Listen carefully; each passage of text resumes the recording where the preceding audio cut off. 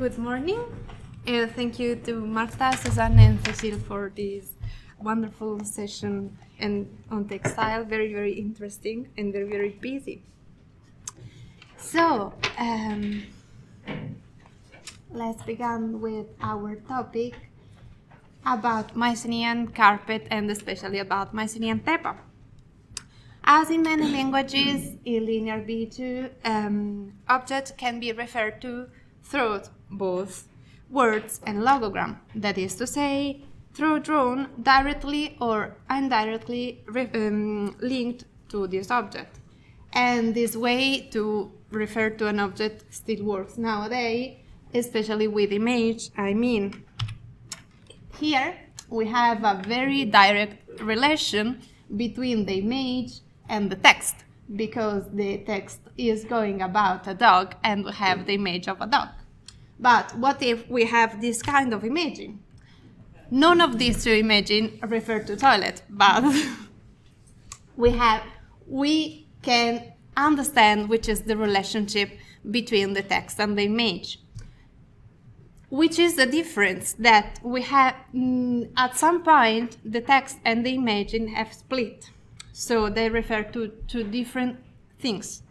And we have to reconstruct all the path these two different routes have mm, done to understand which is this relation. So, which is the object referred to by the Mycenaean word tepa and this ligature that we will see. So, which kind of data can we have from linear B tablets? We have contextual data that um, talk us about the shape of this tepa. And as far as the shape is concerned, we know that it was a heavy textile, it was large, it was woolen, and it was rectangular. We know that because of the big, big, the very huge amount of uh, sheep wool that is required to um, to have this fabric and rectangular is a deduction that can be made on the basis especially of the shape that we will see now. But um, we can discuss about that. So especially on this contextual basis Mycenaean tepa as being compared with alphabetic Greek tapes that is carpet that it seems to fit almost entirely the characteristics required by contextual data from linear B tablets. We have also the ligature that refer to this object. A ligature um, is a um, drawn that is obtained from a logogram and from another syllabogram used in logographic function inscribed inside the logogram. So, the logogram is tela, and you can see that it has a squared shape. There is fringle or not, this is, um, this is the same. It is related to difference of scribal lengths, it's not referred to the fabric or the quality of the textile. So the logogram is tela, uh, the, the acrophonic abbreviation is te, and you can see that is made through a vertical long stroke and three different horizontal strokes, three in each side. So the ligature tela plus te is a squared tela with te inscribed. This is what we have in linear B as referred to tela plus te.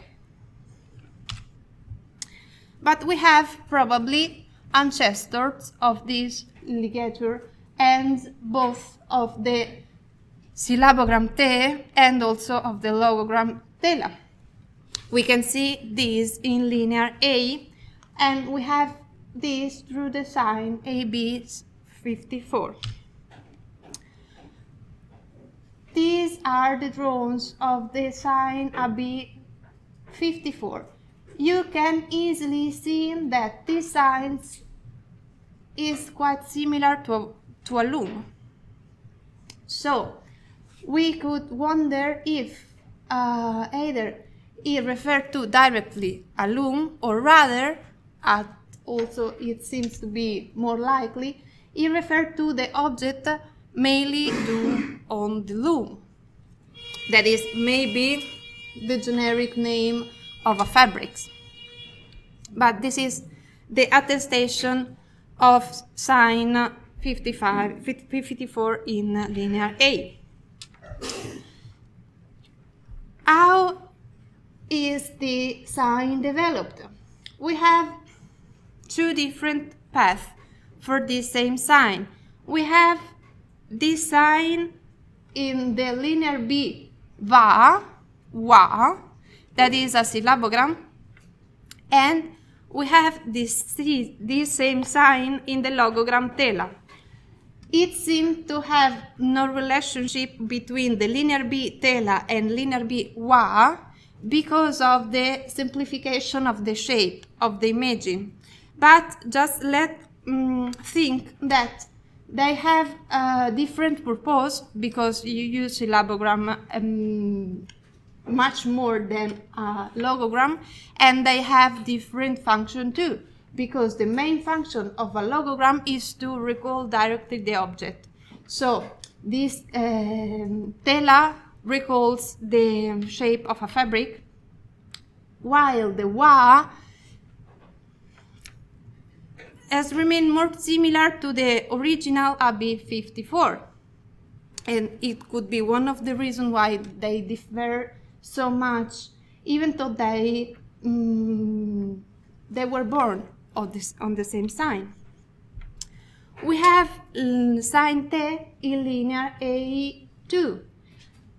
This is is this one is this is not just the sign T because we have not the pure sign T in linear A, we have it just inscribed into another sign. In this case, it, it is inscribed into the logogram for wine. But we um, can see that it is made of a vertical stroke and three different, three, um, three lateral stroke. This time they are not horizontal, but rather they are obliquous. And we, if we make a comparison between linear A and linear B sign, we can see this difference between the horizontal stroke and the obliquous um, strokes. We have a further attestation of, the, of this T sign in a further description that is tel ZP1 and we cannot say so far if it belongs to the linear A or to the Cretan hieroglyphic. We have arguments for both interpretation, of course, but we, mm, we are not able to decide. This is the inscription I was referring to, and of course you can easily imagine which is the sign I'm interested in. That is this one, of course.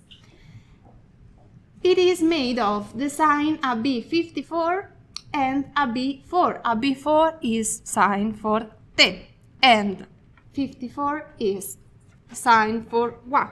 That is what we have previously seen. We can compare this one to the linear A sign for T, and we can see that they have both a, mm, a large vertical stroke in the middle, and then we have further mm, stroke obliquous on both sides. So this one is much more similar to the linear A mm, sign than to the linear B. This is because it's more ancient, of course. Mm, it could be argued that um, we have more than three strokes. So maybe it was even more ancient than the linear A sign we have in Knossos, and maybe it could use as an argument to say that it was, this inscription belonged to the Cretan hieroglyphic but we have also argument to say that belongs to linear A. So I don't know which is your idea about this shape, this drone, but I am not sure it could be a carpet.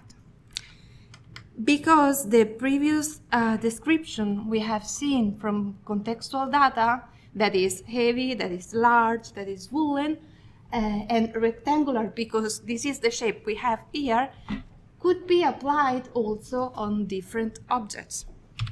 And if we go back to linear B tablets, we can also see um, from contextual data that this uh, tepa, tela plus te, belong to the royal sphere, to the ritual sphere, and it was a luxury object that maybe was um, it, it, mm, it was required for mm, special palace or commercial needs.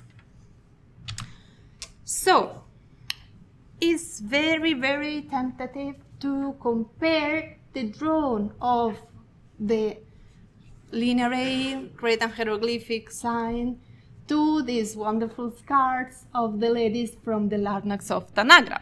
This is very tentative, but it's not so scientific because we have one and one we cannot match just because they fit.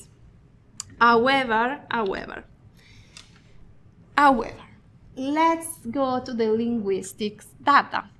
I've said that uh, it has been applied this parallel, but I've said not that there is a linguistic problem in this interpretation, that is this. If we have E in Mycenaean, we cannot have A in alphabetic Greek. It can be the opposite, but, but cannot, cannot be this. So this interpretation has some linguistic problem, and it's not the only one. We have further problems from the linguistic point of view with this interpretation. What if, what if, if we compare Mycenaean tepa to these words? Tebar is a word of unknown origin that we have in an Akkadic dictionary and is labeled as uh, framed work. Framed is German. Um, in English. foreign, thank you. As a foreign word. So we don't know where Tebar comes from.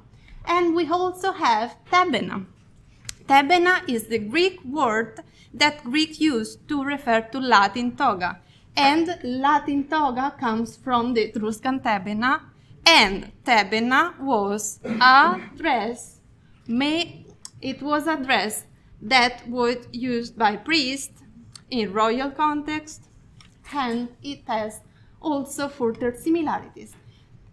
One more thing, we cannot be mm, sure that Tebena and Tebar are really two different words or maybe just one, because we can have a common basis, Teb, that is the one we see also in Mycenaean Tepa, and maybe also before in Linear A and in Cretan hieroglyphic, and then we just have different suffixes that Tebar and Tebena.